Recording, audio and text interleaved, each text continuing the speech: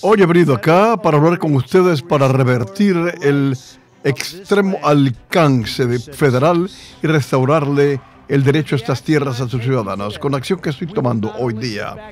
No solamente vamos a devolverle a ustedes su voz sobre el uso de esta tierra, también vamos a restaurar su acceso y su disfrute.